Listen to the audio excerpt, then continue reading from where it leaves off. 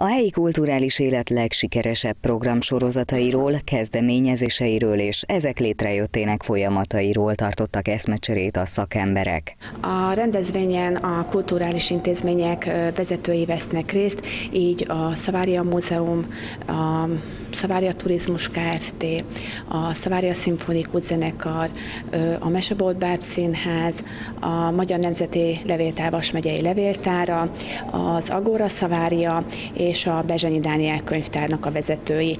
Kiderült, mit tartanak a tavalyi év legnagyobb eredményének, vagy éppen meglepetésének, kudarcának, vagy legemlékezetesebb pillanatainak az intézmények első emberei.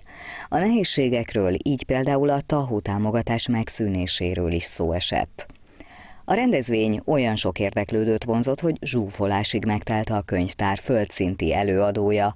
A csúcs találkozó témája a politikusokat, városi és megyei vezetőket, civil szervezetek képviselőit is vonzotta. Ez a szombathelyi kulturális csúcs találkozónak az a lényege, hogy a helyi kulturális intézmények vezetői egy asztalhoz ülve az érdeklődők számára bemutassák tavalyi év 2018-as év legfontosabb eseményeit, az intézmények működését, hogyan jön létre egy program, milyen elv alapján, milyen programokkal várják az érdeklődőket, mik a jövőbeli tervek. A szervezők terve szerint a párbeszéd eredménye országos precedens értékű együttműködés is lehet, akár a kulturális intézmények, akár a civil szervezetek között.